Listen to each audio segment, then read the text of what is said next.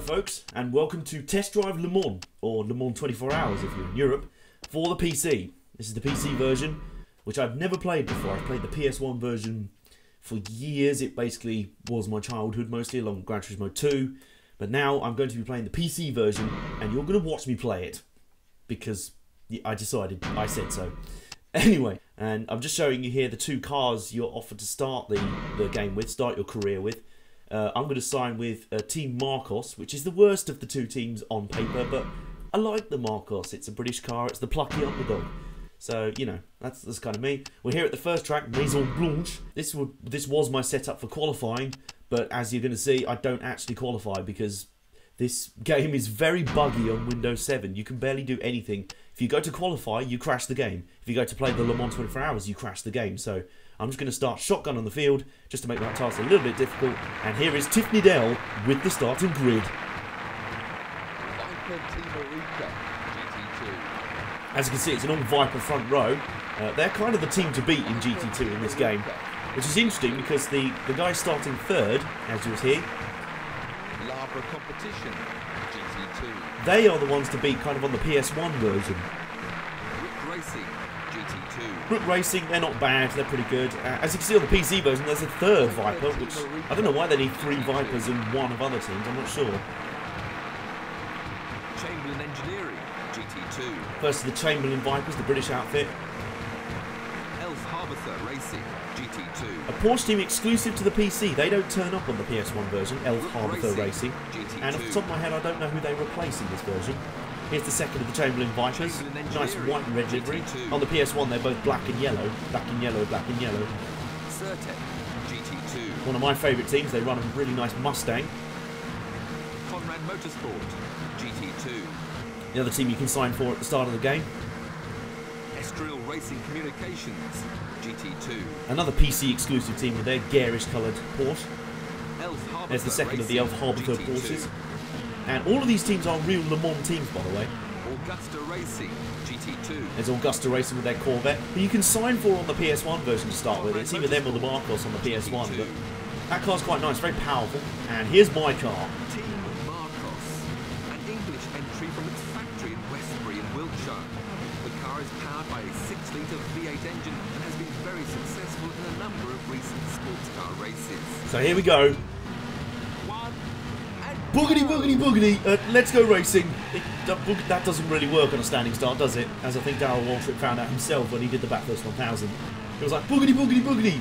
Pause. And go. And as you can see, this is the Maison Blanche track. Nice and hilly, a lot of elevation changes. Coming up to this tricky double apex corner. I'm going to have a look down the inside of the 15 place Konrad car. Oh, a little bit of contact there, as you can hear with Tiff Needell's commentary. His commentary is pretty good in the game, but it's it's that kind of they got him to record various phrases, so they kind of get repeated quite a bit. Like he says, he's making his way up the rankings about a million times. Well, speaking of overtaking dudes, it's all happening down at the hairpin. Piled past the Augusta Corvette. Now I'm stalking the Elf Haberthür Porsche number 68. No driver names in this, which is kind of weird because you can look up on Wikipedia, you can find all the teams, and you can find all the driver names. So why they didn't put the drivers in, I'm not sure. It's a bit like Gran Turismo in that respect. You just get car names. And as you can see, Augusta's a bit fuming that he's been ambushed by the plucky Marcos, so he's trying to look for his positions. We onto the bridge, which always reminds me of the Grand Valley Speedway from Gran Turismo. Gran Turismo 2, I think, came out around the same time as this, as I've still got the Augusta up my trumpet. He's, swarming all over me, but I'm pretty good through these final few series of corners. Oh, he's, really getting aggressive. That's one thing I like about this game. The AI is very aggressive. And, oh, here we go. Just swerving around the, the Elf Haberthür Porsche there. Yes, I have moved up a place, Tiff. Well spotted. The AI in this game, very aggressive. They're not afraid to have a lunge, get a bit of contact, get a bit of argy-bargy. Much better than Gran Turismo, where literally you will just be sitting there going, come on, I'm actively letting you go by on the inside.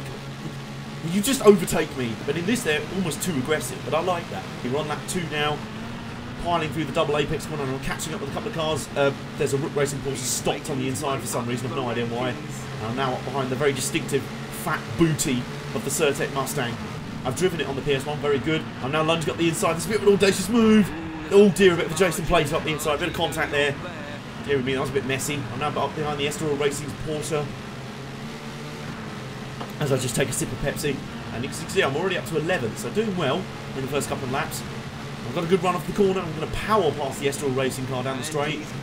When I say that, the Marcos is pathetically underpowered compared to the other cars in this game. As you'll see on some of the faster tracks, I really am disgracefully underpowered. I'm piling up behind the Konrad Racing car into the top 10, straight up into ninth. Nicely done there. And there are a queue of cars lining up behind him down the front straight away. They will try and get me here. I think they will because the Marcos is pathetically underpowered. The hamsters in my engine bay desperately running furiously, nibbling away at the carrots, and I think the hamster power is just going to be enough. And oh dearie me, I'm going to outbreak myself. Oh, still dearie me, that was sorry. Oh goodness me, that was clumsy. I just completely had off one of the Elf Harbour Porsches. He, he's now in the gravel trap facing the wrong way, presumably via protesting at me, just like what the hell? Where did that yellow streak come from and completely wipe me out? Yeah, my bad. That's that's not very professional. Oh, look at this. Roock Racing having a look, and it's another pile up down at the hairpin. It's pretty chaotic down here. And I'm going to try and sneak up. It's three wide. Goodness me, they're really getting into it. And I sneak by on the inside, and there's chaos behind me. Oh, it's chaos! Absolute chaos! Uh, the Elf Haberthür Porsches are getting a bit annoyed. Look at them, they're ganging up on me. They can see me. They say, right, was that him who had him off? Had you off? I'm, we're going to have him. We're going to have him. So I'm, I'm running away. And oh, oh, careful. There we go. Oh, dearie me, we've had a Chamberlain Viper blow up in the middle of the track. As you can see there, it was farting smoke all over the track. There you go, there's Tiff Needell commenting on the fact that someone's retired, and I saw it firsthand. And we're now up to 8th behind the Augusta Corvette, so he's doing pretty well. Oh, dearie me, bit of contact there. That's very gentle, I've got to say, he milked that one. It's kind of like a footballer, like, oh, I've been touched, I've been spun. No, get him sent off. It's, it's, not going to happen, mate. Going down to the hairpin, this is a good overtaking opportunity. Got to be very careful on the brakes, as you can see. I'm spinning the rear wheels, lighting them up. So line them up, up, up, line them up, up, up, line them up, up, up, and the fire! Not quite sure what came over me there. Uh, the Augusta car has heard my singing and has legged it. And because this is the old FIA GT point system, you only get points for the top six positions. So you really have to work hard to get any points in this one. So I'm still outside the points at the moment, despite being in the top 10. So a lot of pressure still on. I don't need this pressure on. I don't. Why do I keep bursting into song? Stop it. Anyway, I'm coming up behind the Augusta Corvette. Oh, dearie me. He really backed up there. Get going, you pussy. Piling down the front straight away. And as you can see, it's lap 5 and there's already people in the pit. So there's a lot of potential strategy you can do in this race. And that's what makes it kind of interesting. Uh, there's the exploded Chamberlain just on fire. I hope the driver's got out. And, uh, oh, there's another car that's just blown up. Another Porsche just blown up. Uh, it's just sitting there on fire. As you can see, kind of a quiet middle part of the race. I'm going to the end of lap 7. But the tyres in this game are kind of like Formula 1 tyres, as in the hard, the prime tyres, the hard tyres, can go for quite a while, and the soft tyres last for about 5 seconds. You can see behind me is the third of the Viper Team Oreca's, so here he goes having a look on the outside. I'm trying to come across, but he just storms through anyway. He's not taking no for an answer. That massive V10 providing a lot of power, whereas my herd of small hamsters not give me much power. And now I've got a Roock Racing Porsche having, having a look. I told you they were aggressive, didn't I? As you can see in the bottom left, my tyres are just kind of flaming bits of rubber rather than actual figures to grip the track. So going to be in for a pit stop at the end of this lap. In we go. There you go. There's the klaxon. And it's quite an interesting pit strategy. You can, you, it gives an accurate readout of how much time everything will take. So it's up to you whether you choose how much fuel to put in, and it will show you if you want to put that much fuel in, it will show you how much time that will take. And as you can see, I've put just enough fuel in to make the end. Soft tyres, repair any damage I've got, not got much. And six seconds down and away. Four rather nice option tyres on, or soft tyres as they're known in this. And I've got three laps to charge up from 13th, but that's not as bad as it initially looks because there's still people trying to make it to the end and pit. And oh goodness me! Oh dearie me, who's that? Somebody's just tried to lunge up the inside. That was the Cirtek Mustang. It's just lunged up the inside. A wild move. Said I'm down in 13th. That looks bad, but it's not actually that bad because uh, a lot of people have still got to pit. And speaking of F1 type features, look at the bottom right. You'll see the speedometer. You'll also see the revs as that sort of rising gauge. You can move the rev limiter up and down. If you move it to the maximum setting, up, obviously you get more revs, you get more speed. As you can see, I'm piling past the Augusta Corvette again. You get more speed, but you also overheat the engine quicker. You can see that little green gauge next to it is the temperature gauge. So you have to kind of manage your revs. But that's an interesting feature. I've never seen that in any other racing game. I think it's quite interesting. So obviously when you go down the straight, you rise it up to the top level, you get a little bit more speed. As I'm going to need because my hamsters are screaming at me trying to keep this Corvette behind me. Oh, and as you can tell, here we go. All round the outside of the Konrad car, pretty mud there. as you can see in the top left, more people are pitting, which means I'm now back up to 8th. So a points finish is looking on. Like you'll compare that the Vipers for... Oh, here we go. Whoa! Jeez, I shot the gap there. Woo! I got such a run off them. I stormed in between two of them and straight into the points. I can see someone ducking into the pits. So, oh, there's the klaxon. Someone's in the pits. Who is that? Who is in the pits? And he's moved up a place. Well, someone in front of me because I'm now up to fifth. White flag is out. Final lap in the air. I mean, white flag is in the air. Final lap is underway. And as you can see, I'm piling up behind the Konrad Racing Porsche. This would be nice. Up to fourth place. That gives me three points. No, he's in front of me, and I'm going for him in the hairpin.